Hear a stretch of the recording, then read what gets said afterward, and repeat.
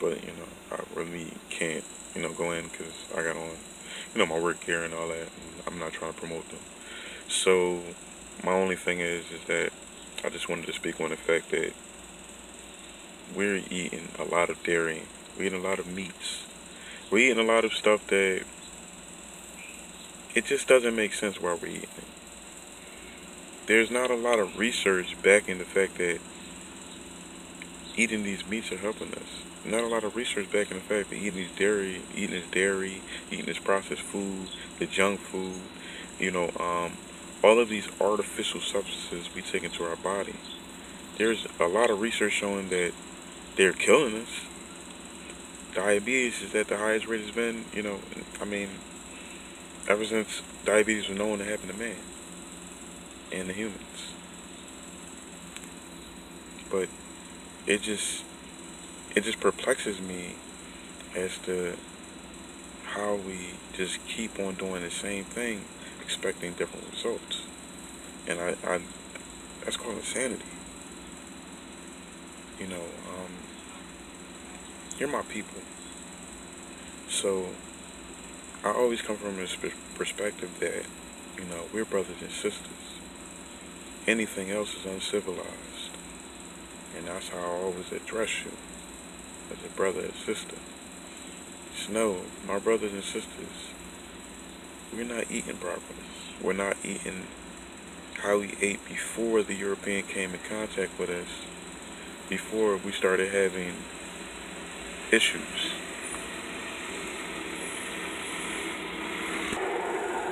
All I'm saying is we need to start looking into what we are putting into our bodies and researching how these things are made and what they're doing to them. You know, a lot of people say they don't eat pork, but have the products that you're taking in the process have pork or have some type of pork byproduct in them. You know, a lot of people say, oh, I don't eat beef. You're eating beef byproducts. You know, people say they're vegans, but you're taking on a lot of stuff that's not healthy for you. That you, you know, you're saying, oh, I mean, soy, and soy, soy ain't fucking good for you. Not in the process, not processed. Soybeans are great, not soy. Like this is what we have to understand is that if we're not taking the natural products into our body, this is why we. This is why you know you see people with like just all type of crazy conditions, like I mean, even me, like, I'm just trying to clear out my face now. You know, it's, they're killing us, okay? It's a soft war and it's a hard war against us. But until we realize this and actually start looking into things, we will remain ignorant. We need to stop being so divisive. I don't, you know, whatever you believe in, whatever school of thought, whatever religion you have, please put that aside we are a people. We need each other. Like I don't know what's like. I'm sorry, but a lot of y'all acting like Europeans and you know eating the meat and all that. That stuff is making y'all really like angry, bitter, resentful.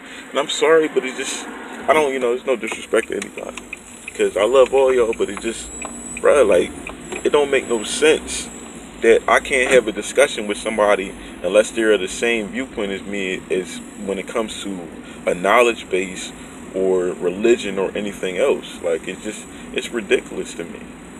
Like, but that's you know, that's neither here nor there. I just say we need to start looking into what we ate and what we took into our bodies before we came in contact with this European. Something's going on. Peace.